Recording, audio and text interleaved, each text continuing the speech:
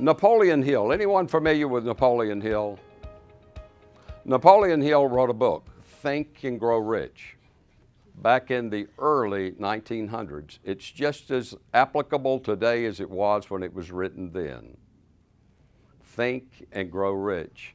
Napoleon Hill says, whatever the mind of man can conceive and believe, it can achieve with a positive mental attitude.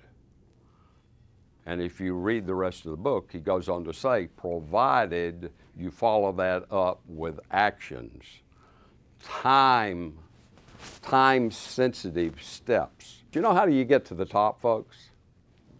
You go down to the Westin and you can just kind of get on the elevator or here at the Walden Club.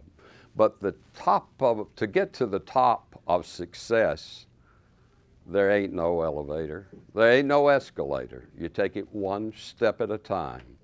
So I encourage you to determine what those steps are that you want to take in order to get to the top.